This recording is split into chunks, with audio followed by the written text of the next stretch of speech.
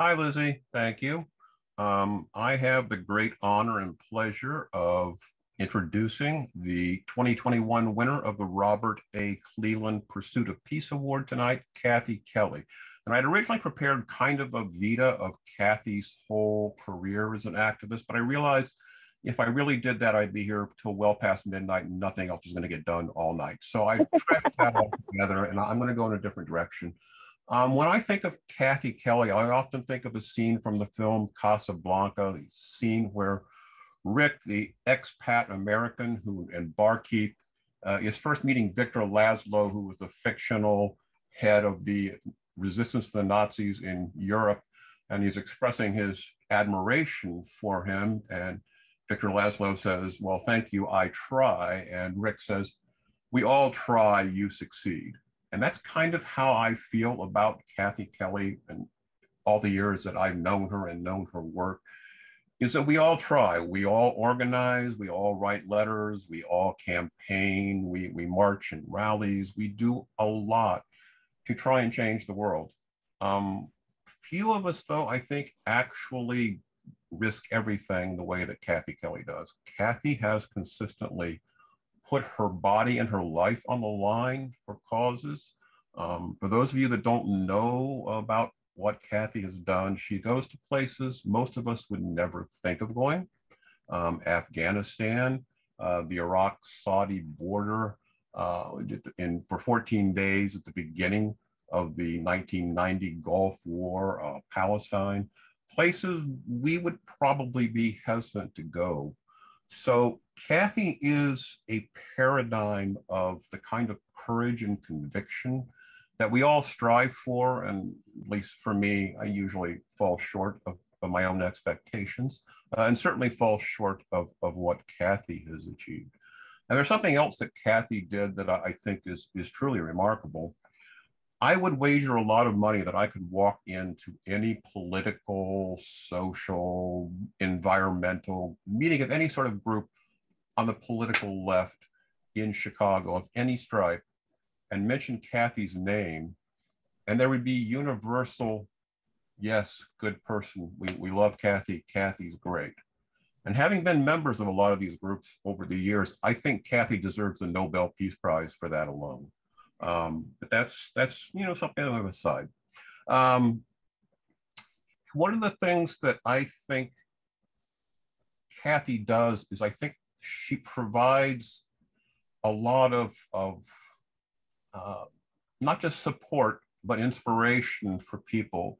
The fact that Kathy has this constant commitment to the possibility that a better world is possible has always inspired me because no matter what happens, Kathy keeps plugging away. She's still out there putting her body on the line, spending three months in prison for protesting the School of the Americas. For those of you who don't know, that used to be a military training installation in Georgia where the US trained the troops and the torturers of a lot of Latin American governments. Uh, it was very controversial. There were yearly protests. People would cross over into the school, get arrested, go to jail.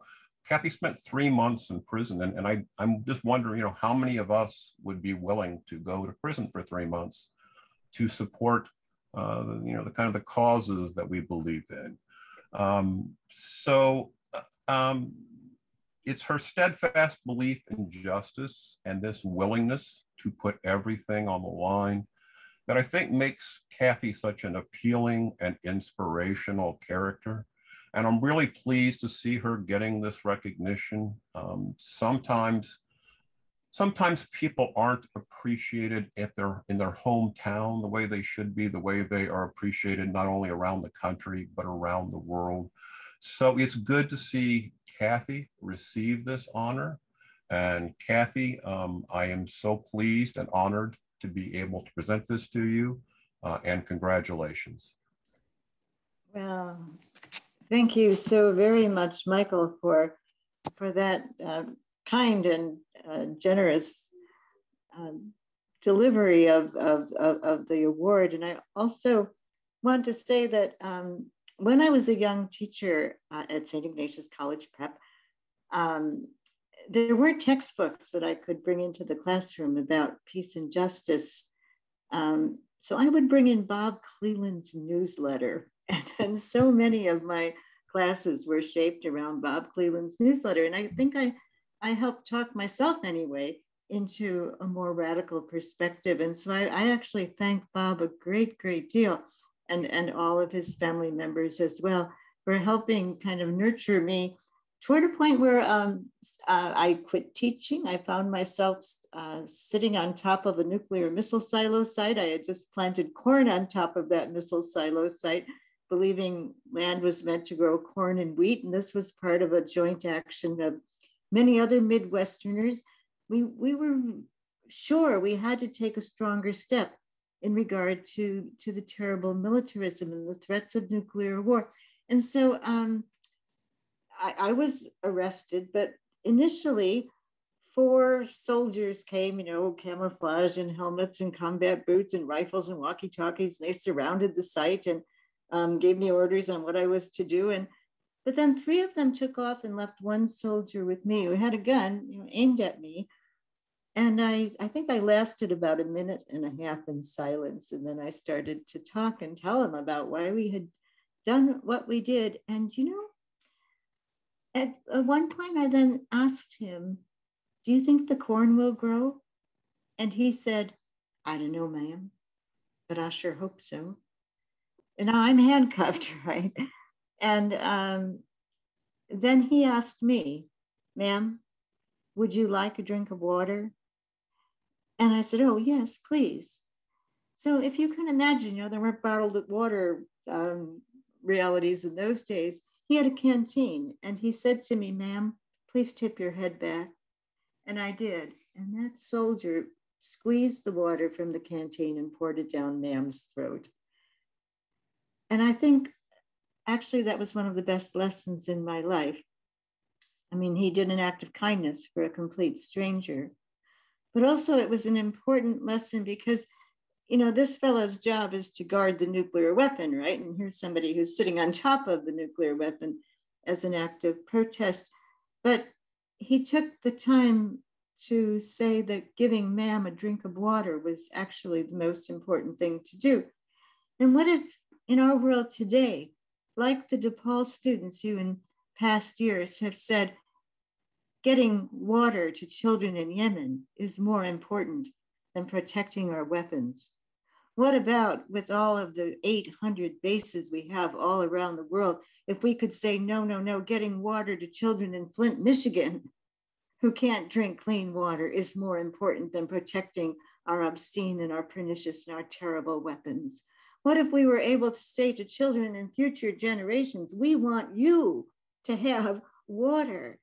And so we're going to educate ourselves to learn how to cope with climate catastrophe. And we're no longer going to let the military constantly have the upper hand because we realize that there, there can't even be a rational discussion about climate catastrophe and pandemic and the terrible prison industrial complex and all of the things that plague our society if we don't dismantle the militarism. So I'm so grateful to Peace Action because steadily you confront the militarism, you don't accept the militarism. And I'm so pleased to see you challenging the bases, the terrible, terrible extension of bases all over the world. Do you know there were 500 United States military bases in Afghanistan alone?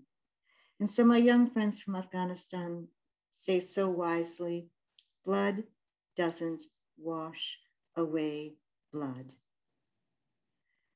So um, Robin Kimmerer writes about a, a hunter who had a very big, successful hunt. He had loads of meat.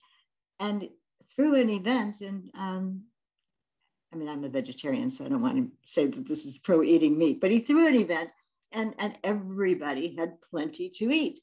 And an anthropologist asked this hunter, you know, don't you think maybe you should have put something aside for some time when you might not have as much uh, meat as you have had tonight?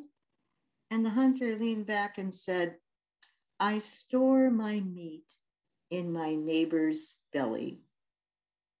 So I hope that will be true for all of us. It will store our education, our goodness, our dreams, our hopes, and all of our many, many talents in one another, recognizing we are all part of one another. Lizzie, I wish you well at every step ahead for your future and to Charles and Liz, it's so great to see you come aboard. Um, so everybody in, nobody out, and let's look forward to working together. Thank you.